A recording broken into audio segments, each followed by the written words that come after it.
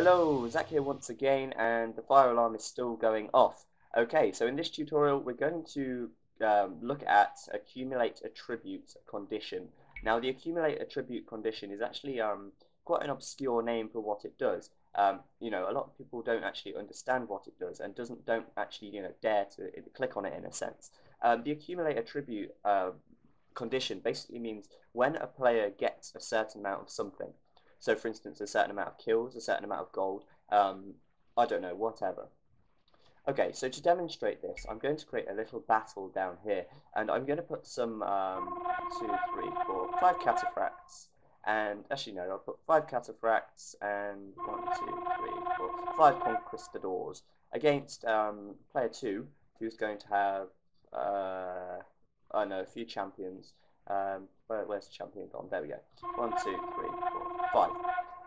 Okay, so we're going to have a little battle here, and it's going to be my 10 men against these five um, champions here. We know that I'm going to win, um, and that's basically, I've made it so that I know I'm going to win. I'm going to enclose these guys in here so they can't escape, and they have to fight to the death.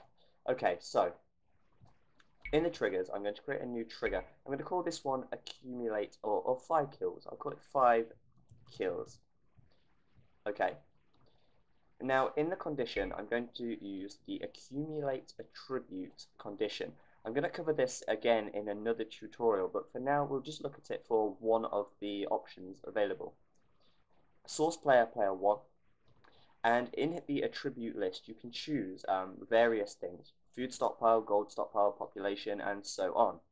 Um, in this, what I'm going to do is you choose the kills, and that basically means um, for every kill that I get, the, a counter is going to go up. So for instance, I select kills here and set the quantity to 5. When I kill 5 units, it doesn't matter who they belong to, if I get 5 kills, then an effect is going to happen.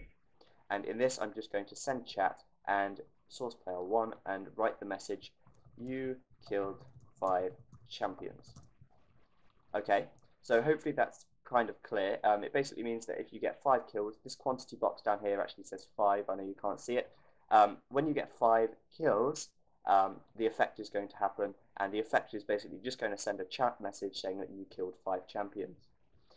I'm just going to set the view to to this little area here, set view.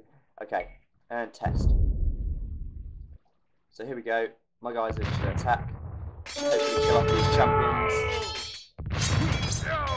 There we go, and they're all dead. And there it says, you've killed five champions. And that's the accumulate attributes um, condition. We'll look at that a bit more in a, at a later date when we're sort of combining conditions and effects together in a more um, complex way. But for now, that's basically the gist of it. You can use accumulate attribute to see when a player has gathered 500 food or 500 gold, or if they've got a kill streak or something like that, um, or if they've sent tribute or anything. I, I think it's tribute, I'm not sure. Um, but yeah, you just have a look at that, have a play around with it, and yeah, hopefully that's been useful to you. I've been Zach, and I'll see you next time.